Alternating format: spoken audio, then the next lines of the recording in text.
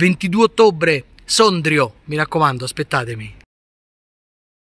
La storia si ripete, un passato che ritorna, vicende che si ripropongono anche approfittando della nostra scarsa memoria. Il progetto Life After in provincia di Sondrio vuole quindi recendere riflettori sulla carovana per la pace che attraversò i Balcani nel 1991 e arrivò a Sarajevo alcuni mesi prima dello scoppio di quella guerra.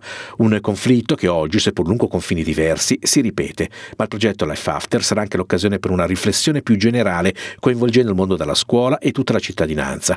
Il progetto culturale parte dalla mostra che sarà inaugurata sabato nella Sala Vigaria Palazzo Muzio, ma si articolerà poi in una serie di eventi, incontri e riflessioni per tutto il mese di ottobre. È un progetto articolato perché sono articolate le associazioni che hanno partecipato a questo progetto, associazioni di diverse estrazioni culturali, estrazioni religiose e all'interno di un mese dall'1 al 29 di ottobre si alterneranno attraverso la presenza nella mostra e attraverso eventi specifici che verranno illustrati nel dettaglio all'inaugurazione di sabato 1 ottobre a partire dalle 9.30 proprio in Sala Ligari, sala mostra di questo palazzo.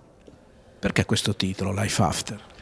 Perché è un invito alla memoria. Life vita, after dopo. Dobbiamo avere consapevolezza di quello che nella storia accade al genere umano e non possiamo dimenticarci i drammi e le tragedie che purtroppo hanno costellato la nostra storia a partire dall'Europa e dalla realtà balcanica che è proprio accanto a noi. Già in occasione della presentazione a Palazzo Muzzo si è entrati nel vivo della discussione grazie agli interventi dei relatori, a iniziare da Don Andrea Del Giorgio, Marina Gugiatti ed Emanuele Campagna, ma emozioni speciali sono arrivate da Luigi Lusenti, collegato in remoto che ha ricordato quella carovana per la pace che ha fatto la storia dando voce alle forze migliori della società civile, ai pacifisti, a chi si opponeva a un conflitto assurdo che divenne poi tremendo con il passare degli anni.